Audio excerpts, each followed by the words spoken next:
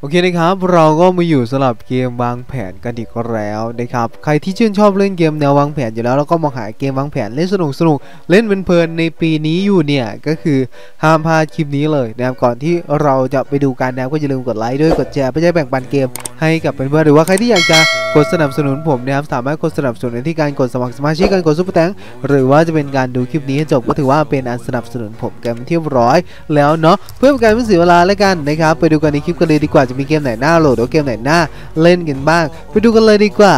ไปดูกันเลย We work on ourselves when you say no. Whoa, oh, oh, oh.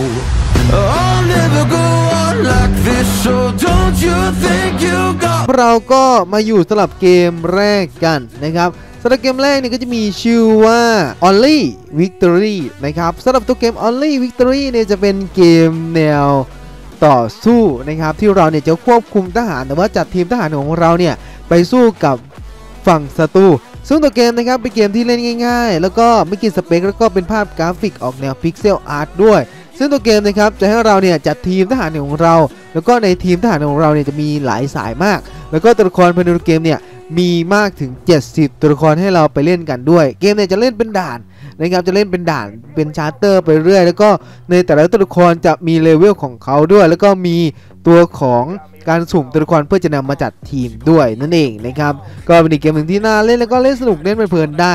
เนาะก็สำหรับใครที่ต้องการจะเล่นเกมนี้ก็สามารถไปลองโหลดไปลองเล่นเกมนี้กันได้นะครับสำหรับเกมนี้เนาะซีรีส์ของ Final Fantasy กันบ้างซึ่ง Final Fantasy นะครับเกมนี้ก็เป็นเกม ที่พอร์ตมามือถือกันอีกแล้วนะครับ แต่ว่าเป็นภาคตัวของ XV นะครับ ซึ่งภาคของ XV ในมือถือนะครับจะเป็นเกมแนววางแผน แล้วก็เป็นเกมแนวสร้างเมืองไปในตัวอยู่แล้วนะใครที่ชื่นชอบเล่นเกมแนวสร้างเมือง แล้วก็อยู่ในทีม Final Fantasy ด้วยเนี่ยก็คือห้ามพลาดเลยทีเดียวนะครับเพราะว่าตัวเกมค่อนข้างทำออกมาได้ค่อนข้างจะเล่นสนุกเล่นเพลินๆได้นะครับตัวเกมนะครับยังมีการอัปเกรดตัวของ ตัวละครที่อยู่ใน Final Fantasy เกือบทั้งหมด แล้วก็มีการจัดทีมตัวละครเพื่อไปสู้กับตัวของฝั่งศัตรูด้วยนะครับตัวเกมยังมีการสร้างเมืองก็มีเหมือนกันนะครับเนาะยิ่งมีการเวลเยอะอะไรต่างก็จะทำให้เมืองของเรามีความใหญ่เพิ่มเติมนะครับแล้วก็มีการเปิดกาชาด้วยเหมือนกันนะสำหรับใครที่ชื่นชอบเล่นเกมการเปิดกาชาด้วยก็สามารถไปเปิดแล้วก็ไปหาตัวละครโหดกันได้นะครับเนาะใครที่ชื่นชอบเล่นเกมแนววางแผนกลยุทธ์แล้วก็มองหาเกมแนววางแผนกลยุทธ์ มาใหม่เล่นอยู่เนี่ยก็คือต้องลองเล่นเกมนี้กันได้นะสำหรับเกมนี้มีชื่อว่า Base of War นะครับสำหรับ Base of War นะครับจะเป็นเกมที่ให้เราเนี่ยไปวางแผนกลยุทธ์ทำสงครามเล่นกับผู้เล่นแบบเรียลไทม์ก็เป็นกี่เกมที่เล่นสนุกเล่นเพลินได้ แล้วก็ตัวเกมนี้ครับเรายังสามารถอัปเกรดตัวละครของเรา หรือว่าทหารของเราให้มีความแข็งแกร่งเพิ่มมากขึ้นได้เหมือนกันนะครับเนาะยิ่งเราเนี่ยเล่นไปนานเท่าไหร่นะครับยิ่งมีการอัปเกรดเพิ่มเติม มากยิ่งขึ้นนะครับ เพราะว่ายิ่งเงินเยอะก็มีการสร้างอะไรต่างๆเพิ่มเติมเข้ามานะครับมีระบบการเปิดกระชาด้วยนะครับมีระบบการสร้างทหารที่โหดด้วยเหมือนกันนะครับสำหรับใครที่ต้องการจะเล่นเกมนี้ ก็สามารถไปลองโหลดไปลองเล่นเกมนี้กันได้นะครับเป็นเกมที่เล่นสนุกอยู่เหมือนกันนะครับผม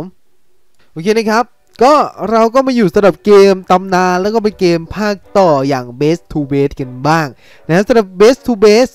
นะครับจะเป็น ภาคใหม่นะครับก็คือภาค Apocalypse นะครับเนาะก็สำหรับตัวเกมภาค Base to Base ภาคนี้ครับจะเปลี่ยนใหม่ค่อนข้างเยอะนะก็คือเราเนี่ยจะได้ได้เล่นเป็นระบบ Open World นะครับแล้วก็ลงไปเอาชีวิตรอดอยู่ในโลกที่ล่มสลายจากพวกซอมบี้นะครับเนาะตัวเกมนะครับก็เป็นตัวเกมแนวจัดรูปแบบ ทีมนะครับจัดทีมตัวละครเพื่อไปสู้กับพวกซอมบี้ด้วยมีการ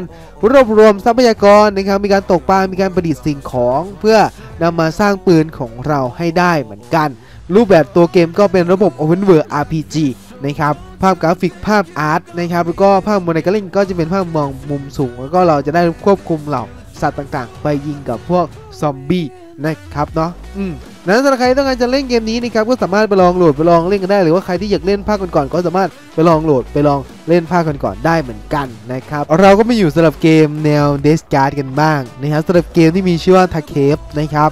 สำหรับเกมนี้นะครับจะเป็นเกมแนว d e s c a r d Builder Card นะครับก็คือเราเนี่ยจะได้รับบทบาทเป็นพี่สาวที่จะไปช่วยน้องชายที่ถูกปีศาจลักพาตัวไปนะครับซึ่งเขาเนี่ยต้องเข้าไปในป่านะครับแล้วเขาเนี่ยต้องไปต่อสู้กับตัวของ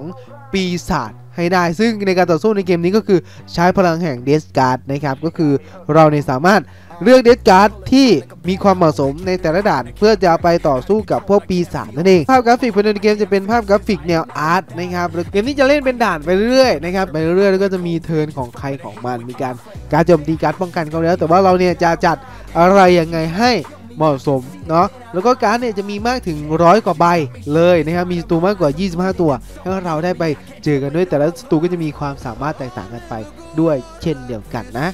เกมที่มีชื่อว่า Viking List นะครับเนาะในเกม Viking List นะครับจะเป็นเกมแนววางแผนกลยุทธ์ทำสงครามของชาวไวกิ้งอันดับแรกนะครับเรายังอาจจะยังไม่ได้ต่อสู้กับผู้เล่นหรอกก็คือเราก็อาจจะสร้างเมืองกันก่อน เก็บทรัพยากร ค่อยออกไป multiplay เล่นกับผู้เล่นหรือว่าไปสู้กับผู้เล่นให้ได้นะครับตัวเกมจะเล่นเป็นแบบ real-time multiplay นะครับก็คือเราเนี่ยสามารถเดินหน้าไปสู้กับผู้เล่นได้เลยนะครับแล้วก็เขาอาจจะเห็นได้เลยอย่างนี้ ตัวเกมยังมีระบบการเปิดกาชาด้วยนะครับเพื่อจะให้การอัปเกรดตัวของเราแม่ทัพของเราเนี่ย มีความสามารถที่เก่งขึ้น แล้วก็การสร้างเมืองภายในเกมนี้ค่อนข้างจะทำออกมาได้ค่อนข้างดี แล้วก็ค่อนข้างจะสวยงามมาก ๆ เลยเกมนี้ยังมีระบบสภาพอากาศด้วยนะ แล้วก็ตัวเกม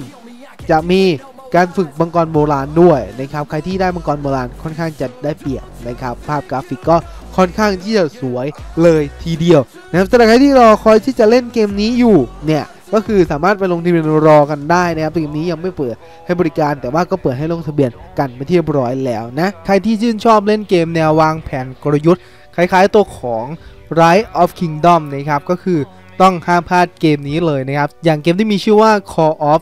Dragon นะครับ ตัวเกมนะครับเป็นเกมที่พัฒนาต่อยอดจากตัวของ Rise of Kingdom นะครับ ซึ่งตัวเกมเนี่ยก็ยังคงเป็นคอนเซปต์เติมไปสร้างเมืองนะครับ แล้วก็นำไปสู้กับ ผู้อื่นได้นะครับตัวเกมนะครับก็มีตัวละครอยู่ 3 ตัวละครหรือว่าพูดง่ายคือเผ่าอยู่ 3 เผ่านั่นแหละ ก็จะมีเผ่าต้องเป็นเผ่ามนุษย์ เผ่าตัวของเอลหรือว่าเผ่าตัวของปีศาจนั่นเองที่เราเนี่ยสามารถเลือกเล่นได้ แต่ละเผ่าเนี่ยก็จะมีความสามารถแตกต่างกันนะครับขึ้นอยู่กับว่าเราชอบแบบไหนนะเนาะแล้วก็ตัวเกมยังมีตัวของการฝึกฝนเหล่าฮีโร่นะครับหรือว่าสวมใส่พวกอาวุธต่างๆ ให้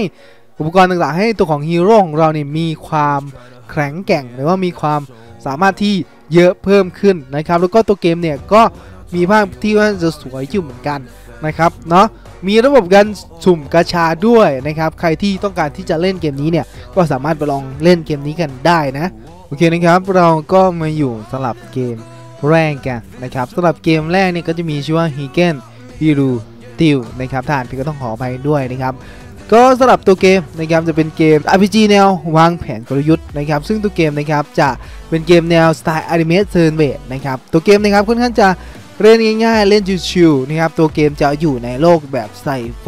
นะครับแล้วก็ตัวเกมนี้นะครับจะมีตัวละครต่างให้เราไปเลือกเล่นค่อนข้างที่เยอะแยะมากมายเลยทีเดียวนะครับแล้วก็มี 6 อาชีพ แล้วก็บวกอีก 5 ธาตุให้เราเนี่ยได้ไปเลือกเล่นกัน แล้วก็แต่ละตัวละครก็จะมีความสามารถแตกต่างกันไปด้วย มีโหมดหลายโหมดค่อนข้างจะให้เราเล่นนะครับ มีโหมดที่เป็นโหมด dungeon ฟาร์มโหมดเปิดกระชับปองก็มีนะครับ ก็ภาพกราฟิกภายในเกมนี้นะครับค่อนข้างจะมีกราฟิกที่มันจะสวยงามมากๆ เลยมือถือสเปคต่ำอาจจะเล่นไม่ได้นะครับ แล้วก็ตัวเกมจะเล่นแบบระบบ auto นะครับสำหรับใครที่ต้องการจะเล่นแบบระบบ auto ก็สามารถทำได้นะครับเนาะ Harry Potter Magic Awakened นะครับ ตัวเกมก็เป็นแนว RPG นะครับเราเนี่ยจะลงไปอยู่ในโลกแห่งเวทมนต์นะครับที่เราเนี่ยจะได้เป็นนักเวทมนต์ฝึกหัดนะครับเนาะแล้วก็ตัวเกมนะครับจะเป็นรูปแบบเกมจะมี quest ต่างๆ ให้เราเลือกเล่นเนี่ยค่อนข้างเยอะแยะมากมายเลยทีเดียวนะครับมีระบบต่างๆนะครับก็จะเป็นระบบที่เราเนี่ยสามารถจัดทีมจัดการต่อสู้ได้ด้วยนะครับจัดแทนนะครับระบบเพื่อนก็มีนะครับระบบแต่งห้องก็ยังมีเลยนะครับแล้วก็สุดท้ายก็มีระบบเปิดกระชับบังแล้วก็คอสตูมตัวละครด้วยนะ สำหรับใครต้องการจะเล่นเกมนี้นะครับก็สามารถเข้าไปลองเล่นเกมนี้กันได้นะครับเนาะก็เกมนี้ก็จะเป็นเกมที่เล่นค่อนข้างสนุกสร้างฐานแล้วก็วางแผนกลยุทธ์ด้วยเนี่ยก็คือต้องห้ามพลาดเกมนี้เลยนะครับสำหรับเกมที่มีชื่อว่า Northman นะครับสำหรับตัวเกมนี้นะครับจะเป็นเกมแนวโลกไลท์ RPG ที่เราเนี่ยจะได้รับบทเป็นนักรบไวกิ้งนะครับที่จะวางแผนกลยุทธ์สร้างเมืองแล้วก็จะไปบุกปล้น ฝั่งศัตรูซึ่งตัวเกมเนี่ยมันจะมีการรบเข้ามาด้วยนะครับที่เราเนี่ยจะไปสู้กับอาณาจักรอังกฤษนะครับตัวเกมจะเป็นเกมแนวสร้างฐาน ซึ่งเกมแนวสร้างฐานก็จะมี concept ของเขาอยู่ก็คือ การสร้างฐานอัปเกรดตัวของฐานของเราให้มีความใหญ่เพิ่มขึ้น ยิ่งเราเล่นไปเยอะๆนะครับเราก็ต้องยิ่งใช้ทรัพยากรที่เยอะนะครับเราก็ต้องสร้างพวกพลตัดไม้พลสร้างดาบสร้างอาวุธหรือว่าพลสร้างเรือน หรือว่าสร้างบ้านก็มีเหมือนกันนะครับตัวเกมก็ถือว่าเป็นเกมที่เล่นสนุกเล่นเพลินได้ภาพกราฟิกก็ถือว่าทำออกมาได้ค่อนข้างที่จะดีเลยทีเดียวนะครับใครที่ต้องการจะเล่นเกมนี้ก็สามารถไปลองโหลดไปลองเล่นเกมนี้กันดูได้นะ ก็เป็นบ้างสลับ 10 เกมแนววางแผนนะครับก็หวังว่าท่านผู้ชมเนี่ยน่าจะชื่นชอบคลิปนี้กันเนาะก็สำหรับคลิปนี้ขอลาท่านผู้ชมไปก่อน ไว้เจอกันคลิปหน้า สวัสดีครับผม